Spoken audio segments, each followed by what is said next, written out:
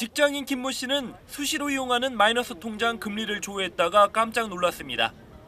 1년 전엔 3%대로 기억하고 있는데 어느새 5%를 넘어가 있기 때문입니다.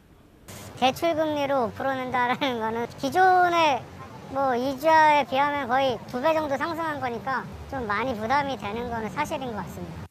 신용이 가장 좋은 1등급도 지금 은행에서 마이너스 통장을 만들면 가장 싸게 해도 금리가 5.3%입니다. 한 달 새 1%포인트가량 올랐습니다. 일반 신용대출 금리도 5달 연속 오르면서 8년 만에 최고치를 기록했습니다. 이유는 금융기관들이 자금 조달을 위해서 내는 금융채 금리가 치솟고 있기 때문입니다. 마이너스 통장은 금융채 금리에 가산 금리가 더해져 결정되는데 은행들이 금융채 금리가 오르는 만큼 대출 금리에 반영하고 있습니다. 이틀 뒤 한국은행이 기준 금리를 전문가들 예상대로 0.5%포인트 올릴 경우 이자 부담은 더 커집니다.